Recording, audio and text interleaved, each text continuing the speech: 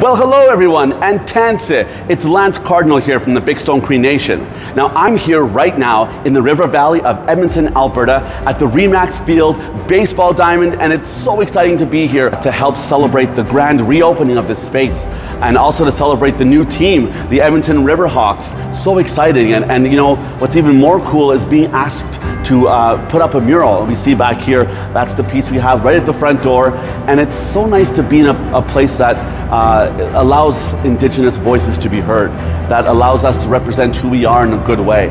And this piece is all about that. It's all about that relationship that we have as Indigenous people to the land, uh, the animals around the River Valley area. And, and this piece here celebrates that. In this mural, there are five different types of hawks that live in this territory. And you know, of course, we have an, an, Indigenous elder there as well who is blessing the land and saying prayer of thanks over this land. And with a smoke that's uh, smudge smoke going up into the sky, bringing those prayers to the Creator, as well as the birds who fly up uh, close to the Creator as well.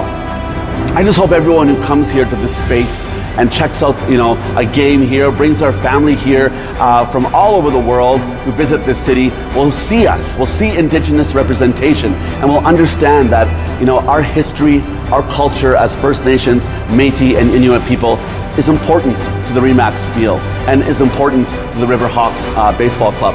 So it's a, a huge honor. I'm very excited, and I can't wait to see everyone come down here and check out the brand new mural.